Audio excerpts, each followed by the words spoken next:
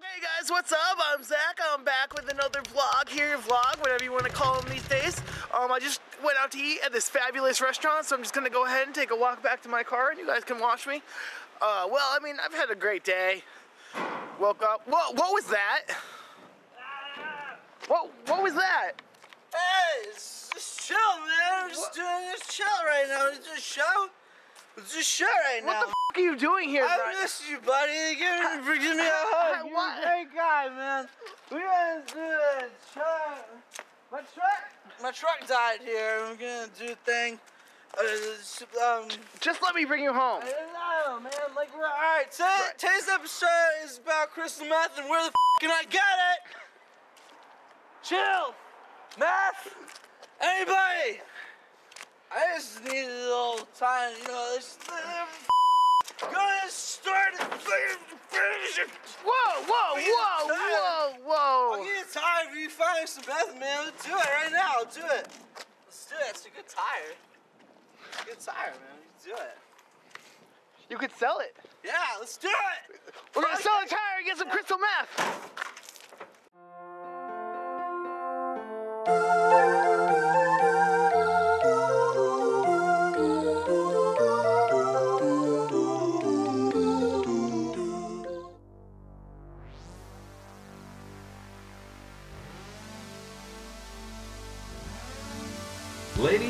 Gentlemen, welcome to Public Access and Chill. How are we feeling tonight? Alright, please join me in welcoming the host of the show, Brian Barganier. Yeah, all right. How we doing tonight, everybody? Enthusiasm, I like that. Thank you so much for coming to another episode of Public Access and Chill. Uh, I'm very hungover right now. Anyone else? Monday night.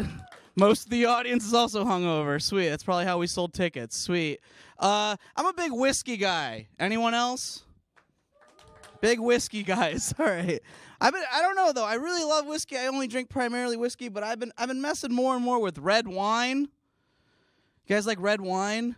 I didn't know how awesome red wine is. I like that. It makes me feel pretty and stuff like and the boners. It's like the opposite of whiskey. It's great. But wine's weird. No one ever warned me about how weird wine is. Because you drink like a bottle of wine and you are good. You feel good. And then you have one more glass from that next bottle and you are. Literally, that one glass, you go from like slow dancing by the fire with your fiance to at the McDonald's drive through, like, I'll tell you what's wrong with the government. Now get me a McDouble, you capitalist pig. But whiskey's cool though. Whiskey's where you get the cool stories. You don't get those cool stories with wine, you know? Like whiskey's like, I was chugging a fifth of Jack, and then we went to the strip club, and then I did coke off this knife that looks like a hot dog. You never hear that with wine, you know? Like, oh man, I was f***ed up. I had four bottles of this beautiful 2009 Merlot. And then I stole my friend's EpiPen so I could drive home. I was watching the news recently. Last I time I saw get that drunk at this beehive. crashed into a cruise ship. Uh, that cockpit I'll really take the one laugh for that one. That deserved it. But I, I'll drink anything, honestly. Just just not tequila. I can't I can't do tequila. Like I'll slap people and stuff. I don't like it. No bueno. Spider by Derek Santos. I recently met a man named Spider on the bus, and I was like, How did you get the nickname Spider? And he said, Because I crawl into your mouth while you're asleep. That was the scariest school bus driver I ever had, you guys. Last time I bought I drank tequila, I went to Taco Bell. I bought a burrito, gutted it, and tried to roll a blunt in it. Like I was very ambitious with my blunterita. All right, well, I think that's it for jokes. Now, uh, unfortunately, uh, my last co-host Dan Brown seems to have died in an octopus-related fire. So, uh, please help me and welcome the new co-host of Public Access and Chill, Patrick McKinstry. Everybody.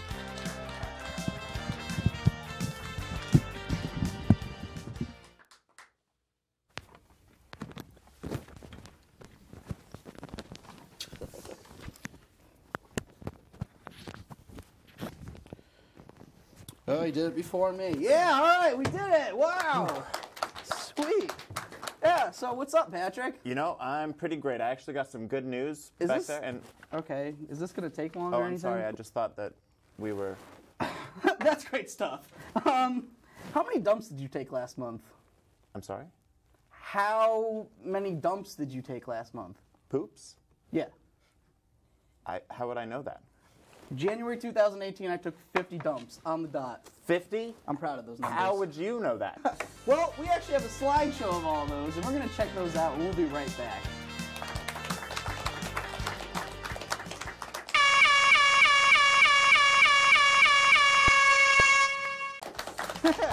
that was some pretty great stuff, right? All right. Well, that's fun because you know what? Today's episode's actually about toilets, everybody. Yeah. We love toilets, and honestly, they're underappreciated luxury. Come on, can you imagine sitting in a f- hole? A hole. I mean, I just do that for fun usually. But we actually went out on the streets to talk to more people about toilets, so we're gonna check that out. We'll be right back. Stick around. Fucking Stay tuned. Damn it! Research has found that meat is the number one cause of global warming. Well, let this reporter say that even if it is, I don't care. I like the way it tastes. I don't like it bloody, just a warm pink center, but that's my preference. Well, when they came up with this conclusion, researchers took every aspect of the production meat, including the transportation of the product to the consumer. So what they're saying is it isn't the internal combustion engine causing the pollution, it's the reason why you're driving that's the cause of the pollution. In this reporter's opinion, that is highly misleading. But if that's the game you want to play, if you want to consider the reason why you're driving as the cause of global warming, meat isn't even close. I've driven 10 minutes for my favorite burger. I have driven over 5 hours for a piece of ass. I want to see a slogan on the side of a bus that says, Pussy is the number one cause of global warming. And I don't care, because I like the way it tastes. I don't like it bloody, just a warm pink center. That's my preference. Back to you, Jim.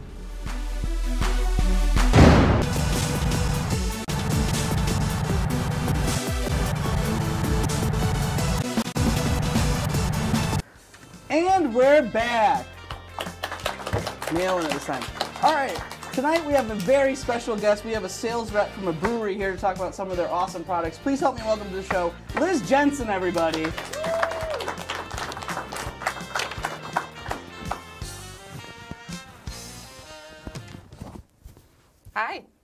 How you doing? I'm well. How are you? I'm doing great. Thanks for having me. Thank you for joining the show. Now, uh, what's the name of your company that you represent? Artisan Beverage Cooperative. We are a worker-owned co-op that we exist in Greenfield, Massachusetts. We make the fine product that you can get in Connecticut called ginger libation. Ginger libation. Now, is that made directly out of ginger? It is. It's pineapple juice, ginger, lemon, and lime. It's 9% alcohol and gluten-free. Damn, we getting f***ed up tonight. Now, unfortunately, legally, my uh, correctional officer says I can't drink on the show, but I've heard great things. Uh, Patrick, you tried some. How was it? You know what? I don't even remember. It was so great. yeah. Yeah. Now, you said you're located out of where? Greenfield, Greenfield, Massachusetts? Massachusetts. Interesting, interesting. Um, what do you, what's the best thing about being in Greenfield? The ginger libation. Nailed it. This one. Um, how did you feel about uh, Jocasta's role in Oedipus Rex in the Greek tragedy? Um, underrated. Yeah? Mm-hmm. Solid Jocasta answer. Yeah. Um, now, do you guys have any other products that you want to plug or talk about? We do. We make kombucha. Are you familiar with kombucha? It's What'd you just call me? A kombucha. What's that? It's a probiotic health drink, fermented tea. Tastes like vinegar and fruit. So there's booze in it, though? No booze. Then what's the Alcohol point? free. What's- no Yeah. alcohol? I you don't know. Is it like It wine? makes you poop a lot. Oh, that's great, because today's episode is about toilets, everybody. Wow. I, I took a dump during commercial breaks. Did you? Yeah. You didn't smell it? Right there. Oh. All right. Um, do you have anything else that you'd like to plug for the show or anything? Um, no, just come get ginger libation. Ask your package stores or your bars or your restaurants and tell them that you want ginger libation. Sweet. Um, how many how many dumps did you take last month? Um, there's 31, 31 probably. Days Or, I, I'm or a dumps? dumps. One a day. I'm a pooper a day person. Yeah. Oh man, I'd love to have that. Uh, I'm like seven or nothing. Like it's weird. well, that's great. Help, thank you. Help me and welcome. I don't even know.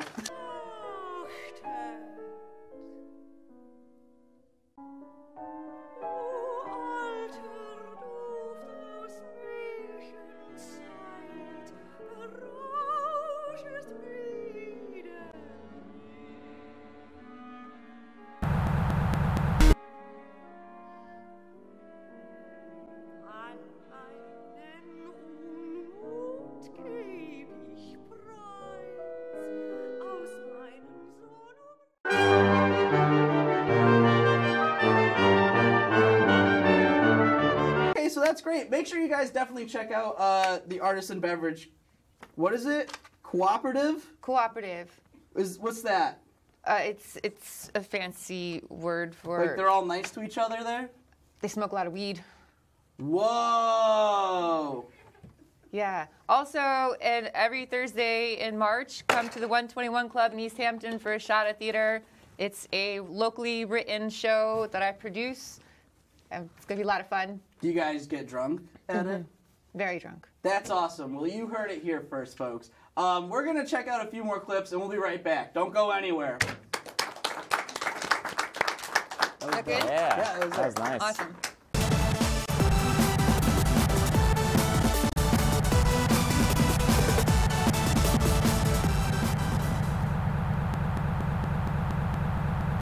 And we're back, everybody. Tonight we have a stand-up comedian here to perform a few jokes for you. Please help me and welcome Andrew Morgan. How's it going, everybody? How are you tonight? It's an honor to be here. This is a great show. Uh, the producer told me to dress nice, and this is the best I could do.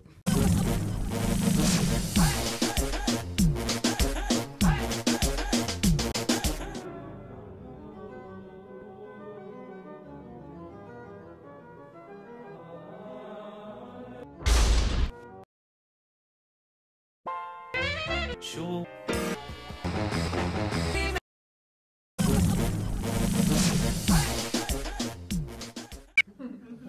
I wore my best Goodwill for, shirt for you guys. I hope you appreciate that. I don't mind shopping at Goodwill. I don't know if anyone else here does. Uh, but yeah, that's a weird thing to clap for. Um, it's not a very enthusiastic thing. I don't mind, obviously. I'm singing into a microphone in front of a camera. Uh, but I have a little gripe with them. Ever since the economy dip, they think they're a real store all of a sudden because they got more customers, but because people are poorer.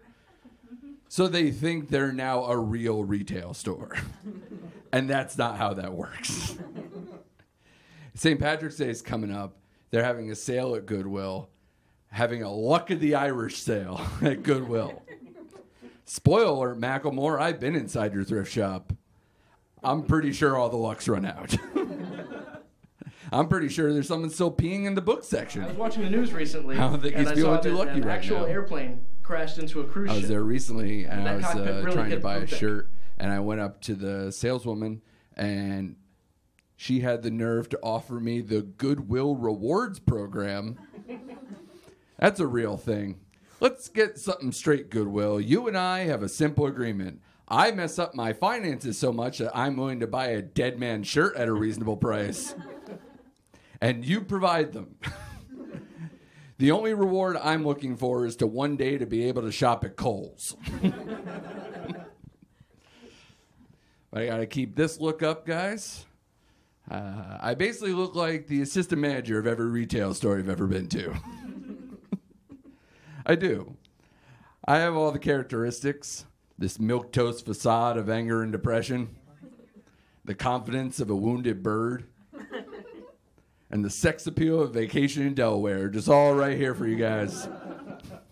You're welcome. I do get that a lot though when I go to stores and stuff. I was uh, I was at a bookstore recently, and this elderly woman came up to me and she was like, "Excuse me, sir, do you work here?" And I was like, "No, I'm sorry, I don't work here." And I thought that was the end of the conversation. I thought that was the end of the transaction. She even started to walk away, but then she stopped, walked back over, leaned in, and went, "Well, you look like you work here." I was like, "You look like you're gonna die here. Why are we doing this, lady?" Escalated quickly. Uh, I did always think I was gonna get uh, more play with this body. I did. By your silence, I can see I'm wrong, but but I did because I don't I don't know much about women. I don't. But the one thing that I'm pretty confident is that ladies love employed, and I look as employed as humanly possible. And I know you ladies love employed so much because if you ever seen a bachelorette party, the male stripper always has to wear the uniform of another job to do his job. They always have to be a police officer, a firefighter, a postal worker. He might as well have to have a W 2 hanging out of his belt just to come up to you, ladies. I don't get it. Like if he was wearing a wife beater carrying a Doritos Locos taco, you would set him on fire. That's what I believe. That's how I was raised. I do love the male stripper though. I think that's an awesome job. They always have, you know, a really good physique and that kick ass nickname like sexual chocolate or something. Something manly, something cool. I think if I was a male stripper, the best I could pull off is Burger King. For two reasons. Number one, I'm never anyone's first choice. And number two, my body's best ingested after midnight and a six pack of beer. So uh, I, uh, I'm a new parent. Thank you for acknowledging that. I have a three year old and a one year old, so most of my time is spent on the playground. And I feel like one out of every two times I'm there, I feel like a complete pedophile. I'll explain. I was there recently uh, with my daughter, my three year old, and uh, there was this ramp in between two playground sets, and they had these railings going up. And I thought it'd be a fun game to play with my, my daughter to jump up and put my legs on either side of the railings, and she would run through my legs like a choo choo train, and I'm a tunnel. It's a very simple game. She had a lot of fun. Uh, and these other kids were watching us do it, and they say, Hey, mister, uh, could we do that too? And I was like, totally, buddy. It's all about fun. Let's do this. And I just, all these kids running through my legs, going back and forth. And they had the time of their life. And I know these kids are having the time of their life because they went over to their mom, who was five feet away from me, and they were like, Mommy, Mommy, Mommy, we just did the best thing. That guy over there, he spread his legs and he went down and. Strike. Yeah, this.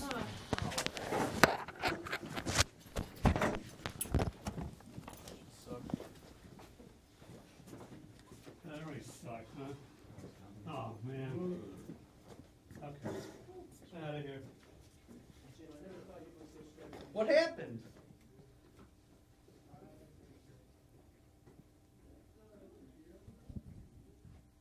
One more time for Andrew Morgan, everybody. Let him. Thanks for coming. I'm sorry, bud. We'll uh, we'll validate that parking. Um, well, till next time, folks.